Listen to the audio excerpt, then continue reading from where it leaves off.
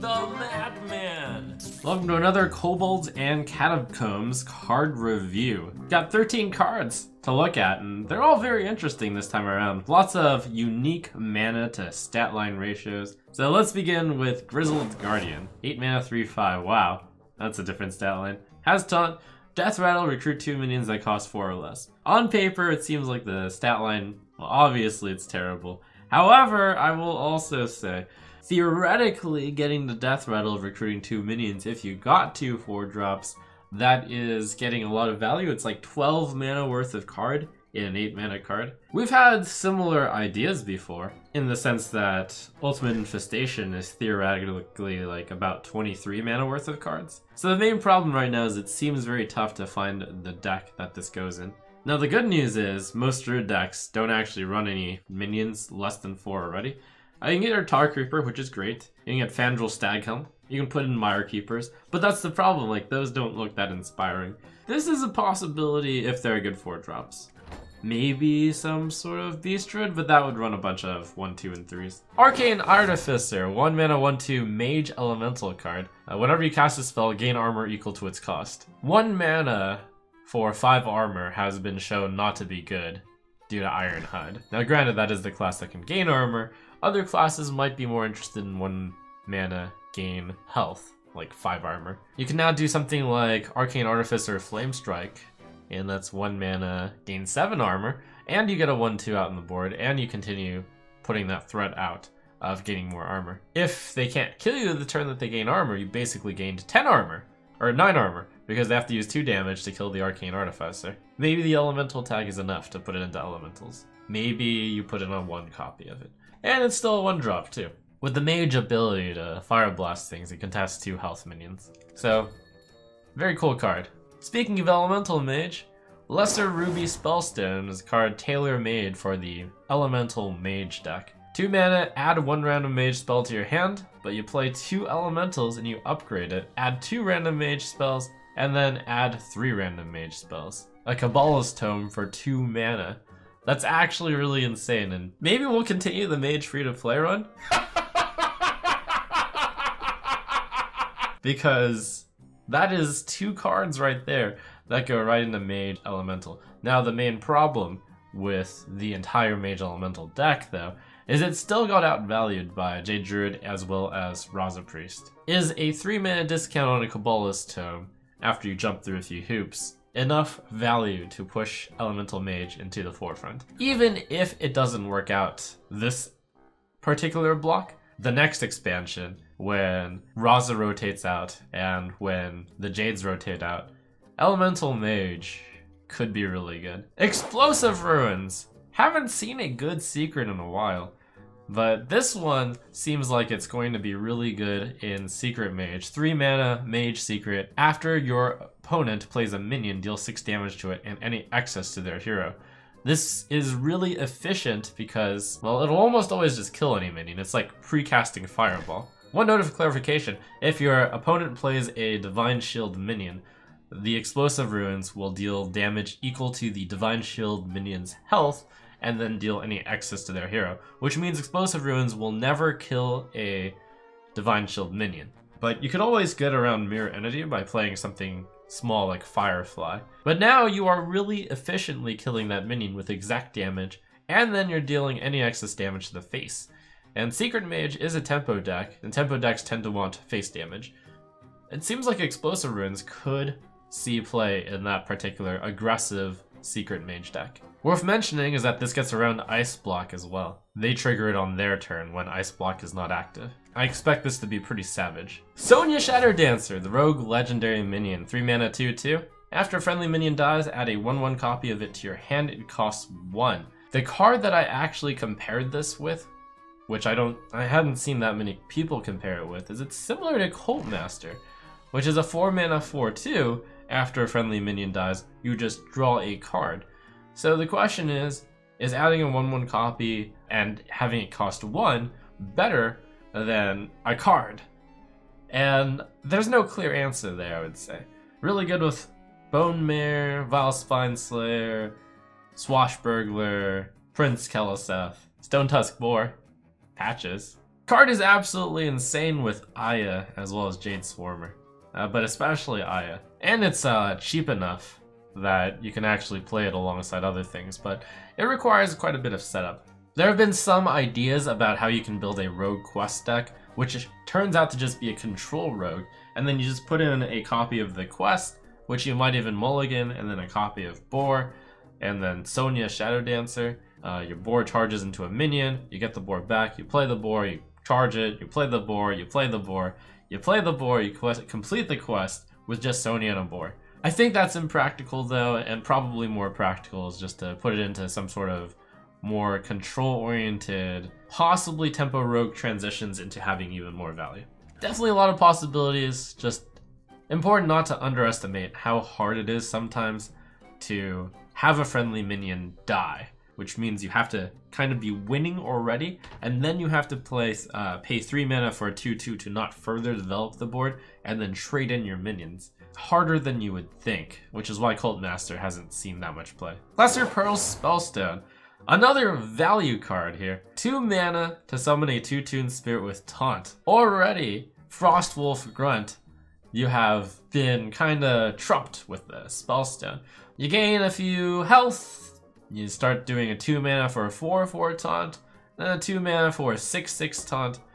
That's really, really strong. Now the main problem is you have to restore 3 health to get these to upgrade, and there's currently no Paladin deck out there which consistently gains health. Truesilver Champion does gain 2 health per swing, so one use of a full Truesilver Champion gaining 2 health twice will upgrade the Spellstone. The upcoming card, which restores health, really good combination with this card. A lot of ways to upgrade it. The only question is, is it good enough to compete with the current decks out there which just outvalue value decks so hard?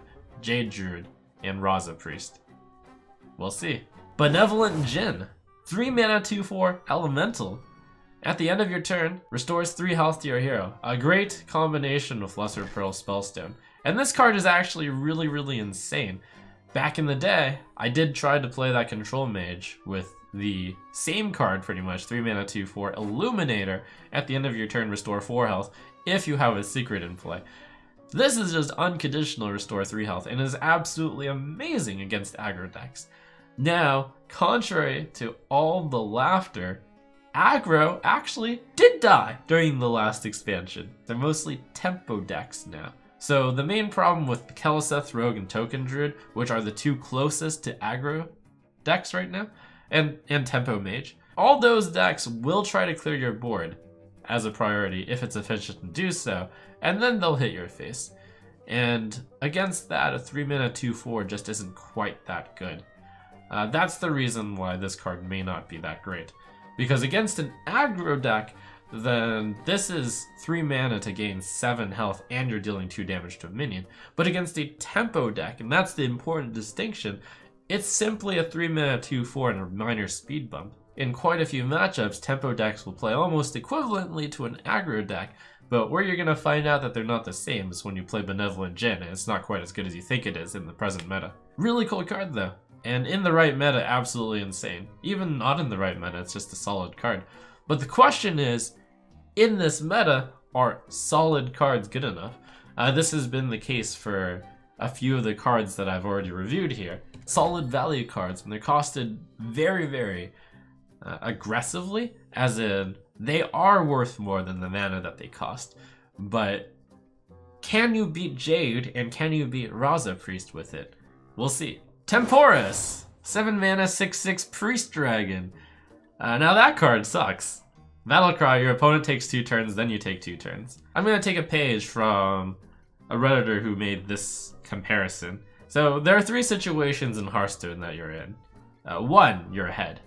And if you're ahead, then giving your opponent two turns in a row could actually surprisingly lose you the game, and you're ahead anyway, so why are you doing this? Two, you're even. Again, you could actually lose the game by doing so. You're playing a 7 mana 6-6, you don't really have anything to take advantage of. And then 3, you're behind, which means you're just going to lose. So, the key to Temporus is to somehow play it alongside, like, right after you've board cleared them and they haven't done anything that aggressive, then you play Temporus, and then they have to spend a turn developing the board and they have to spend a turn attacking you, sure. Uh, but really, if you have a situation in which you're playing a 7 drop into a mostly empty board on the opponent's side, I can think of many different plays you can make other than this meme play. But if you want a meme, Temporus is a great card for you. A good card for if they're almost out of cards in their hand. Good card for if your opponent has no board, but that's not really saying much because most cards are good cards when they cost 7 mana and your opponent is almost out of a hand and almost don't have a board. Pure meme card, but great meme card. Psychic Scream, 7 mana shuffle all minions into your opponent's deck. Uh, now here we don't have a meme priest spell. Uh, that actually looks like a pretty good priest spell. Actually looks like it could be a insane priest spell. It's Twisting Nether, except it costs one less, and it doesn't trigger death rattles. The downside, downside in quotation marks, is it shuffles the minions into the opponent's deck, which means that if you were going for a control strategy or a fatigue strategy, Psychic Scream probably is not the card for you. However, if you're playing a Raza Priest and your goal is to like survive and then be able to machine gun your uh, opponent down, Psychic Scream might be really good for you. Psychic Scream, Scream uh, fills in that 7 spot, which Raza Priests don't really have a card on right now. And it has the additional benefit that it can dilute your opponent's deck. If you Psychic Scream in the late game their Firefly away, they do not want to draw Firefly on turn 8. And even better, if you Psychic Scream their 1-2, uh, the Flame Elemental, then they're drawing a 1 mana 1-2 card. If you're up against Paladin and you Psychic Scream away some Silver Hand Recruits, then they are going to spend a turn, eventually, drawing Silver Hand Recruit. Basically turns all of their cards into Weasel Tunneler. So a great Control Priest card, though expensive. And also does not fit the specific Control Priest who wants to draw out the game to the end. Which is quite a few Control Priests, so Kind of specifically a card designed for Raza Priest. Wow, how generous, Blizzard. Grumble Worldshaker. The Shaman Legendary. 6 mana, 7 7. Elemental. Battlecry, return your other minions to your hand, they cost 1. So this is a card that's supposed to really push Shaman Elemental here, and it certainly accomplishes that. Because the stat line is great, and the effect is a lot of value. It's a card that you probably you may want to play on six mana, and then you just get a seven seven. Maybe return some of your weaker elementals that you've played up until then, and then you set up for your Blazecaller. But the real value play is you play your Blazecaller on turn seven, and then on a turn eight you play your Grumble Worldshaker. You return your Blazecaller, and then you can immediately play the Blazecaller again. Ideally, you've traded that Blazecaller into another minion, damaging it, and then you get it back with full health. So a really, really good card for those decks, but I asked the same question. In this specific meta, is this type of value enough to overcome Jade Druid and Raza Priest? And we'll find out. Arcane Tyrant.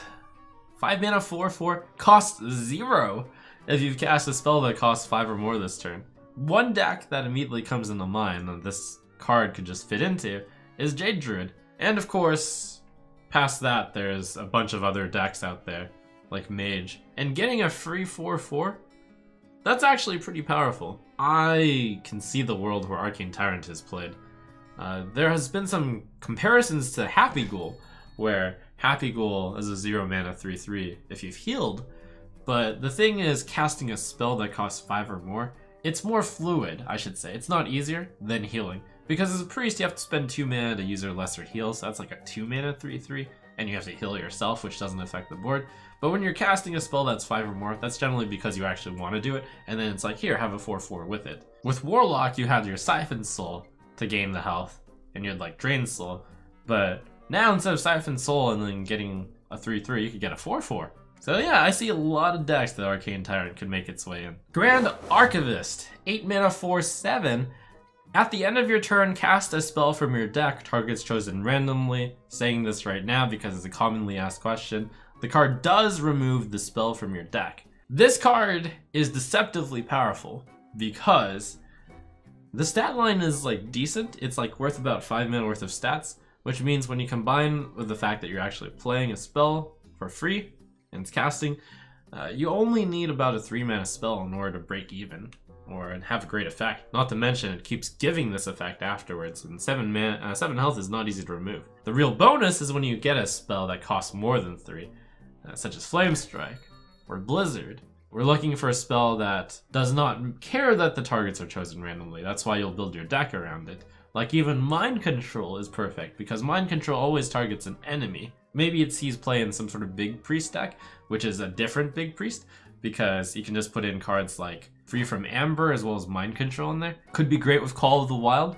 Just think about all those big spells out there. So Grand Archivist is definitely a card that you'll need to build your deck specifically around, but we've already seen a few cards that want you to build your deck around spells, so there might be some sort of new deck brewing. Gonna have to see all the other cards, but this could create a new type of deck. We'll see. And we have King Togwaggle for a great finish. 8 mana 5 5. Battlecry, swap decks with your opponent, give them a ransom spell to swap back. Welcome to the ultimate meme card. If this did not give a ransom, it would be absolutely insane. And because it gives a ransom, it's not completely insane because you've only gained 3 mana on the opponent if you play King Togwaggle and they just follow up with King's Ransom. And it's not like they have to play King's Ransom immediately either. Uh, there's a few ways that you can build your deck that you really want to King Togwaggle them. One is by exploring Un'Goro, and then you King Togwaggle to give them the Un'Goro deck. Maybe you renounce Darkness, and then your deck isn't very good, and then you King Togwaggle them. Actually doesn't sound bad at all. I mean, outside of the fact that you can't get rid of King's Ransom.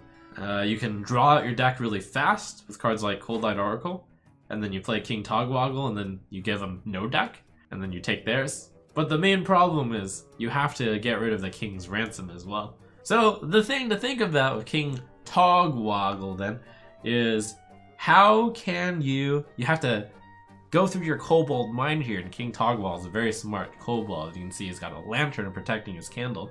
Wow. How do you manage to break the synergy here? One, you're playing mage and you have counterspell or mana bind out. If you counterspell King's Ransom, then they're stuck with your deck. If you mana bind King's Ransom, then you can play King's Ransom back at them, and then you get their deck, and then they get your deck again. Uh, the second way is to try to mill the King's Ransom by playing King Togwaggle and then overdrawing them that same turn. So that would be with something like Double Naturalize after King Togwaggle. Really, really interesting card. Suitable for the King of Kobolds. See how you can break this symmetrical effect so that's it for this set of cards. The common theme for all of these is there's a lot of potential value if you build your deck around them. And the recruit mechanic, and it seems like there's a lot of recruiting spells from your deck type of mechanic, is clearly meant for you to build your deck around uh, gathering immense value by basically getting more mana worth of value from your recruit and from recruiting spells than you know the spell cost and the minion cost would normally give you. But the common recurring theme is, is that enough value to outmatch Jade Druid and to beat Raza Priest? and we'll see.